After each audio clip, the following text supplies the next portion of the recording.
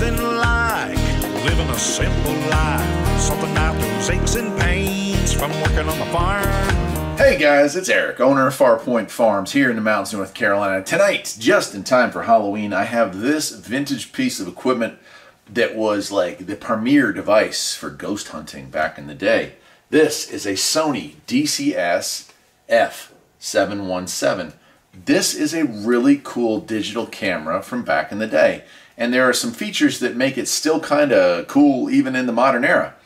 It is a digital camera with quite a professional looking uh, nose on it there. That It's got a pretty nice uh, manual zoom and auto zoom and auto focus and manual focus. Not too terribly. Like if you looked at the base of this, it probably matches up with a lot of cameras back in the day.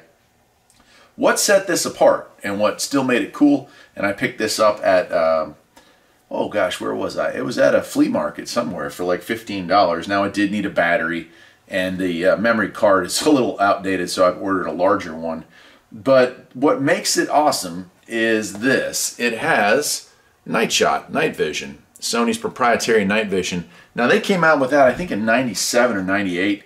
The first camcorder I ever had uh, that was a um, 8 millimeter I think it was or maybe it was digital. No, I think it was just regular 8 millimeter tape. Uh, it had night shot on it and it was fun to play with and we used to do some ghost hunting when I first got into uh, camera work and, and YouTube. And so with this thing you can take some really cool pictures and I'll show you a few here just demonstrating that this thing works you take photos at night. It has some IR lights in the end here that, that allow it to project light. And it has a, a shoe on top and you could add a brighter array of um, UV lighting to light it up. What's really cool about this particular unit is that you can also make a small modification to it and shoot in nearly true infrared mode. And uh, here's a picture that I found on the internet demonstrating what that looks like. And so we used to do some, you know, go to graveyards at night. The things, you know, when ghost hunters first came out back in that era of time, there was a guy that we used to run around with that had one of these things and he had modified it to do infrared photography. And while we never caught any ghosts on camera, I was always impressed with the features and functions that this has had. I was kind of surprised after picking it up and bringing it home that they're not really worth a whole lot. Uh, I guess, you know, technology moved on. It's five megapixels. It does record video, and I'll let this very grainy video play here. Maximum image quality is 320 by 240. And uh, when I first turned it on and had it set up, it was recording much lower. It was actually recording at like 160, I think it was. So uh, very, very pin sized, you know, very pixelated.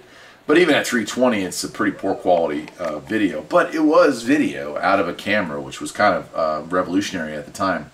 It does have a built-in flash. This pops up right here and takes photos. And it has a variety of other hookups. We have, uh, uh, you can charge directly by plugging in right there.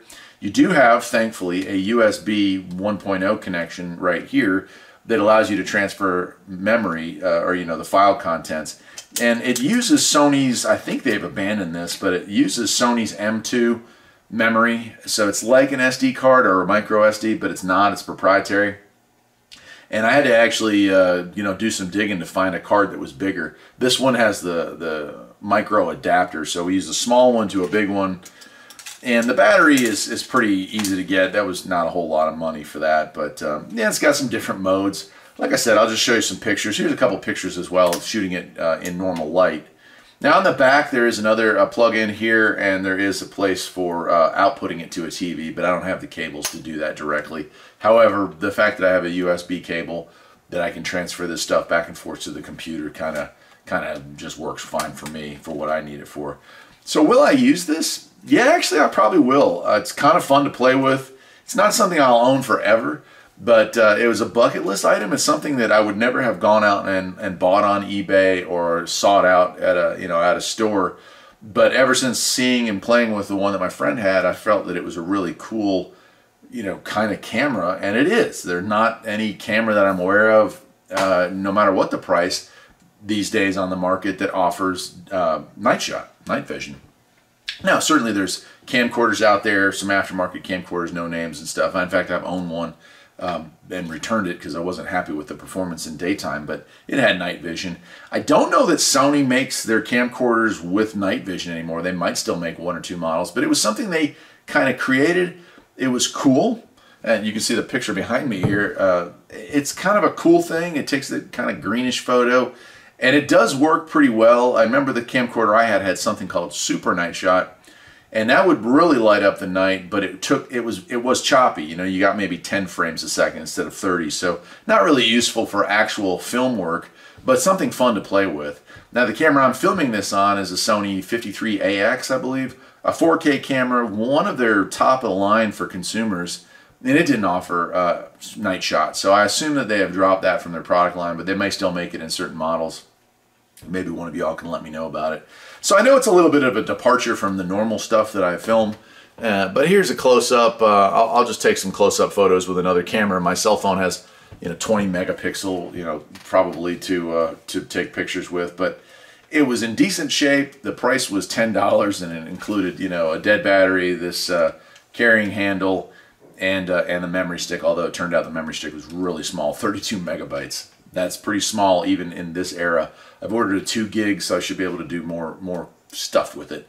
But uh, for a ghost hunter out there, for people, and, and this being Halloween, uh, for people who still are into that sort of stuff, this is actually still a somewhat desirable model, mostly because it has the ability with some lens modification, really minor stuff that you can undo easily, of shooting in infrared. And I want to make that modification to this and try that out and see how that works just, just for fun.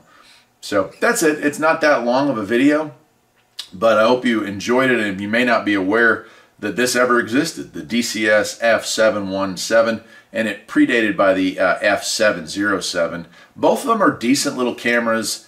Obviously not something you're going to want to haul around everywhere, but for working at night or in low light conditions, this might be just what you need. That's it for today, my friends. Take care.